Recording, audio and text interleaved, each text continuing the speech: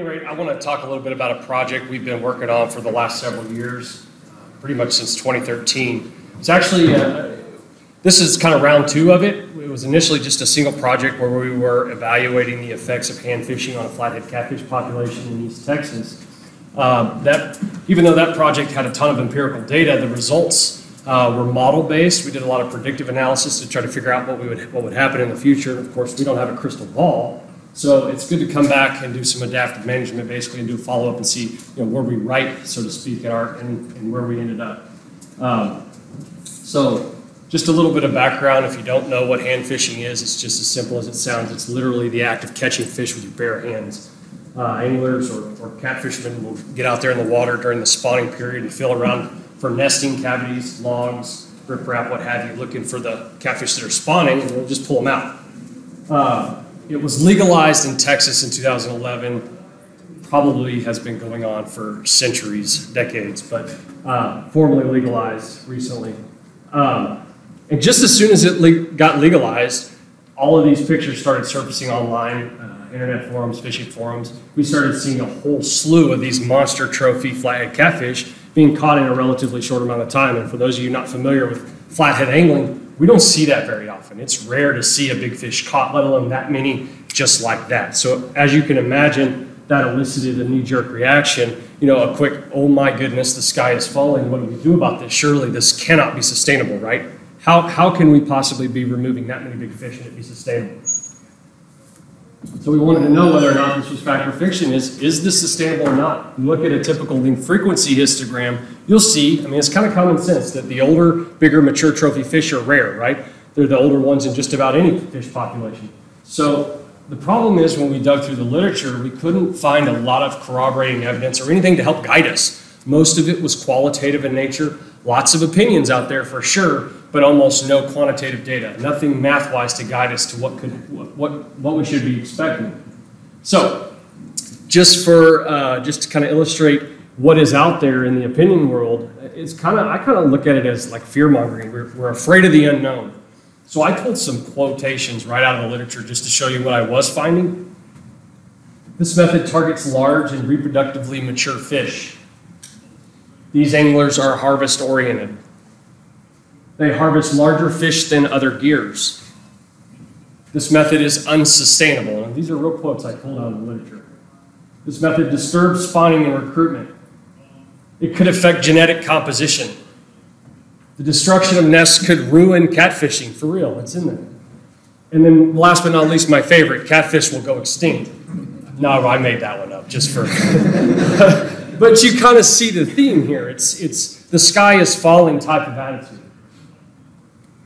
So we launched a pretty big study in 2013 in Lake, on Lake Palestine, Texas, one of our premier catfish destinations, especially for flathead. It's just chock full of monster fish. People from all over come and fish that place. Um, and in our evaluation of the flathead catfish fishery, you know, as fisheries managers, we don't have a lot of tools in our tool belt, but in this case, we threw, we threw the book at it. Everything we could in terms of quantifying population dynamics. Uh, we looked at uh, fishing mortality and natural mortality. We did a big reward tag study so that we could estimate fishing mortality. We quantified growth. We estimated population density via mark-recapture. We took all of that data, and then of course we did, did a bunch of, of modeling. Um, if I didn't say it already, this paper is already published in 2016, but I need to go over some of this data because we're going to compare it to round two. So I'm going to gloss over it. If you want the details, you can look it up. Um, anyway, we modeled, we looked at maximum sustainable yield, what would happen to trophy fish abundance, potential recruitment issues. We had a ton of data, I'm not gonna lie. It was a pretty good, pretty robust study. I felt good about it when we were done with it. And just to kind of gloss over what we, what we did find, total exploitation from our tag return study was less than 4%. That includes every gear. And I was kind of a little bit taken back by that. Thought, man, that's super low. For, you, you guys saw those pictures, right?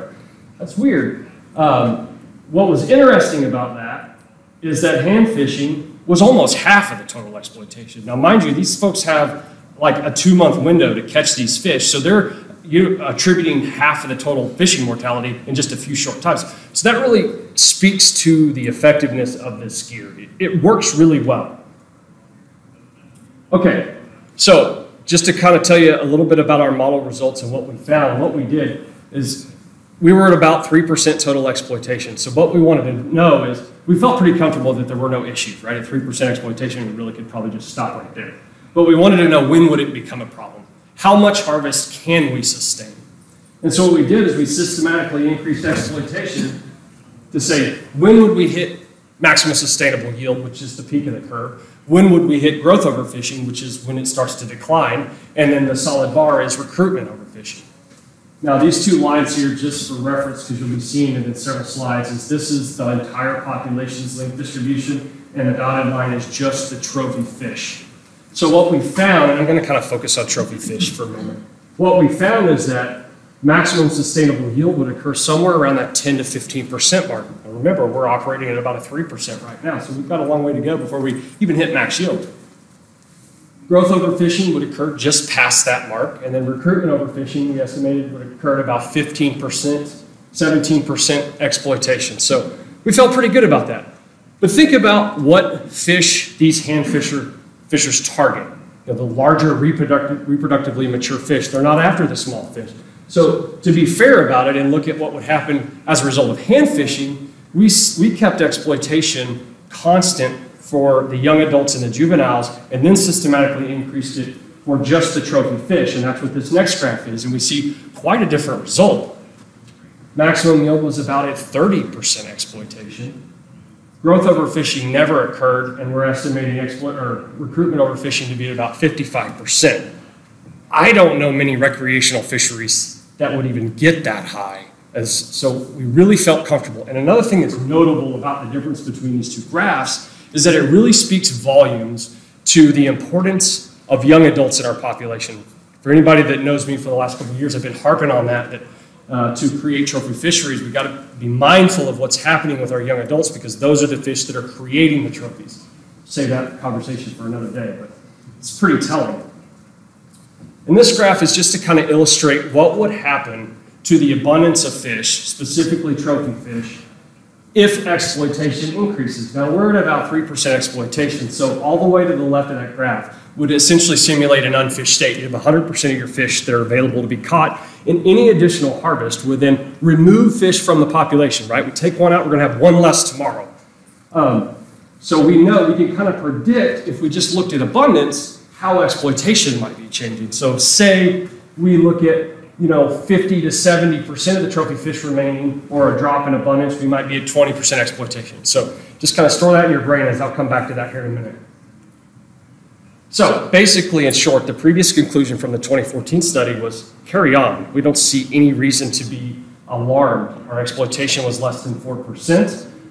Hand fishing is really only effective for a short period of time. Despite its effectiveness, there are a lot of people, there aren't a lot of people fishing for it.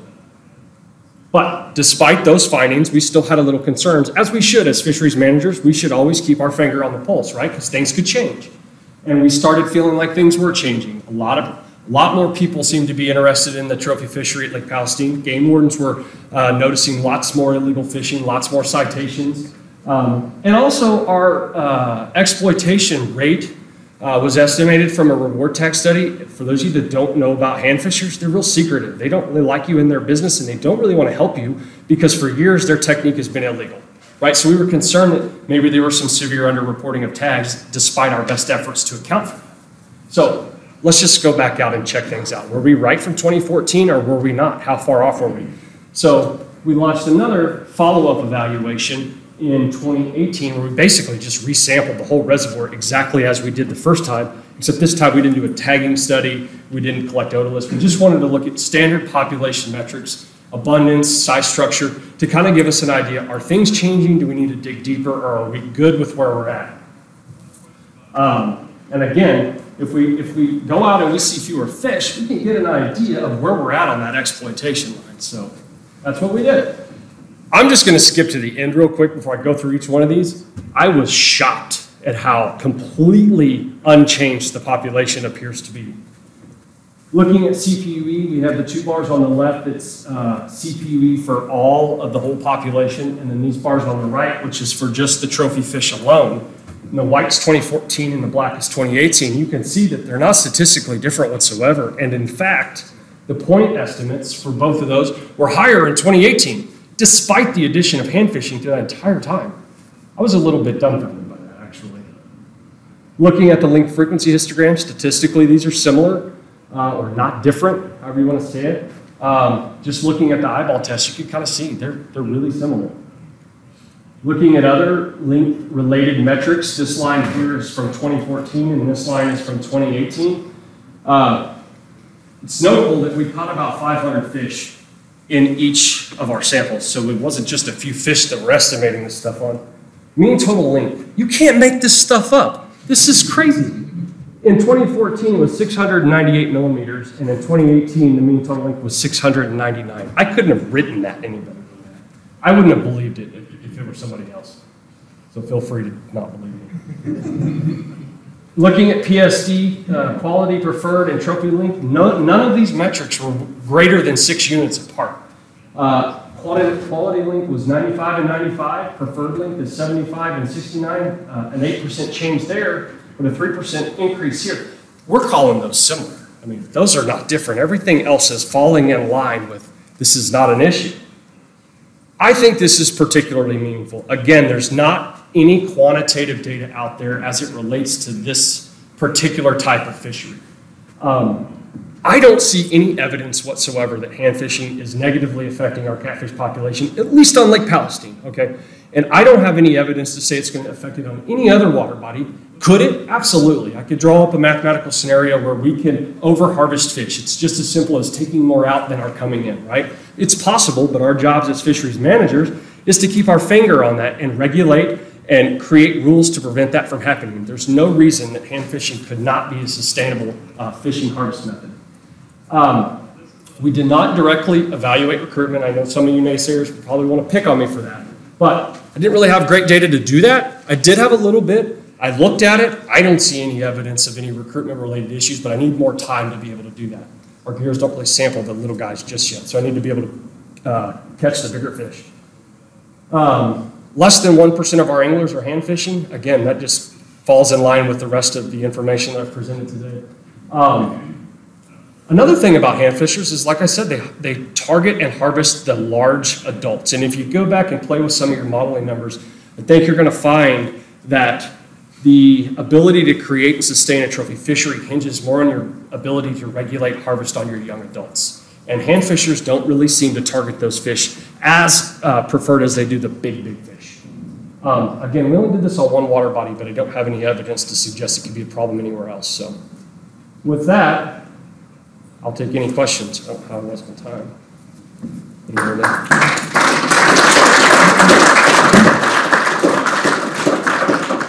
have plenty of time for questions. Yeah. How much? It's got to be a Missouri guy that asks the question. How much do you think the hand fishing harvested because you legalized it versus what was already happening in Oh, I think it's the exact same as it was prior to legalization, if you ask me.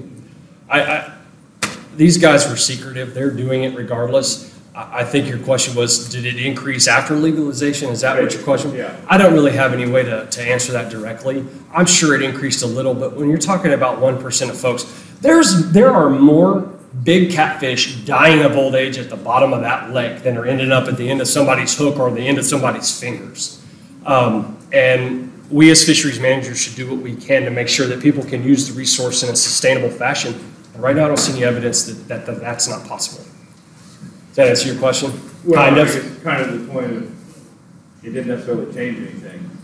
If, if people were already doing it illegally. True, true. So you're saying that the study itself is inherently biased because I didn't have an unfished state. In that way, you're right. But the good news is, is it's still sustainable before right. and it's still sustainable now. Right? That's kind of the take home here. We have a resource that's usable tomorrow and the next day. So that was mainly based off of low frequency electrofishing data? You talking about the follow-up evaluation? Both, both yeah, in terms of the abundance and size structure. Yeah, I mean, that's how we caught the fish. So the follow-up question is, are you aware of any validation of that method for indexing size structure? Specifically for flathead catfish, probably not as much as been for other species, but we don't have any evidence right now of size bias occurring via electricity. But I won't even get into that. That's a that's a that's a can of worms that we could be here all day talking about. In fact, we've been talking about that for two decades. A talk coming up later after lunch. Right. Uh, Small size bias against The- six hundred and larger on flatheads for low frequency electric fishing, but it's, it's subtle, it's not. The good news is, is there are a plethora of different pieces of data that went into this, and they all tell the same story. It isn't like one little piece of data like CPUE that I'm basing this whole thing on. It's a, a treasure trove of information, and it's really agreeing with, with itself, and I feel pretty good about it. Chris, correct me if I'm Yeah. wrong, didn't most, many of our hand fishers also say they practice catch and release? A lot of them do, yes, yes. So, so they're not, even though they're, they're either hard, even though they're maybe catching a bunch of fish, they're not keeping a bunch of fish. A lot of them, and I don't know about the legalities in Texas, but I know some of these anglers are tagging their own fish and letting them go so they can see if they can recatch them and see where they go, so they can learn where the, where the holes are type of deal. Uh, but yeah, they do, do a little bit of catch and release. Yeah. Yeah, You know, you, you basically have a flathead catfish factory in that. oh, there's no doubt about it. I- I'm just wondering, the effect of hand fishing could be quite different in a system or a river or stream where the recruitment's pretty low. Without question. You know, I, I- you know Missouri, we, uh, we had it legalized for, what, a couple months, and then we were having a lot of problems with the hand fishermen recording the data and sending, so we actually had to shut down, but, um, that was our concern. I mean, you have a very productive system there. I do. And we don't, I'm not sure they're all like that. No, no, you're absolutely right. So in those in those instances, I think it is our, on us to go out and quantify the, the, the population metrics in terms of the dynamic rates and see, look at recruitment. Do we have an issue? And, and in that case, I think it's it would be totally uh, Uh, reasonable to regulate that in a way that it's not like Palestine. But at the same token, I don't like necessarily blanket regulations, you know, that frown upon this technique when one outlier lake or one outlier water body, you know, we can't have one bad egg, bad egg spoil it for the rest. There are a lot of populations that can't sustain this. And let's be frank, there just aren't that many flathead catfish anglers, period. We have a top end predator that is really not utilized at all. I mean, we have a handful of jug liners, not really jug liners, but trot liners that'll go out and catch them. But how many in this room have caught a flathead catfish? Oh, wow, you just, okay. Well, you're fisheries biologist, that doesn't count. Yeah, I gotta ask the average angler, but most people don't actively target flathead because they're difficult to catch, right? So, Well, the reservoir that I talked about earlier, uh, that was not the case, because we used to have a lot of flatheads caught, and now there's just very few. Okay. I I think it's an overharvest situation. We have a lot of illegal pan fishing going on. Sure. So I'm not sure if your result just, you can blanket, say everybody. no, and I, and I, and I wouldn't. I would say, I would say that right now there is no uh, numeric evidence Right. that I'm incorrect here. Right. That's where I would say. As Mike Allen would say, if you don't like my model, let's try yours, right? Let's give it a shot elsewhere. I'm not opposed to hand fishing, but our department decided today. I know. Experience we have. Yeah. Any questions? Yeah. Quick question, not really re- related to your talk. How many people die each year doing this? Not me, because I don't do it. No, but seriously, it's not legal in our state, and I don't think we're getting any pressure to implement it, but like, is there angler mortality? I think we've heard of one or two maybe in Texas. I don't know if it was related to hand fishing, Okay. but, yeah. So do you guys have any restrictions on breathing apparatus or being able to place artificial spawning boxes? Any? I don't think they're allowed either one of those. They're not even allowed gaffs or hooks or any type of bait. It's, it's old fashioned, get in there and got to sucker out with your fingers. I don't even think they're allowed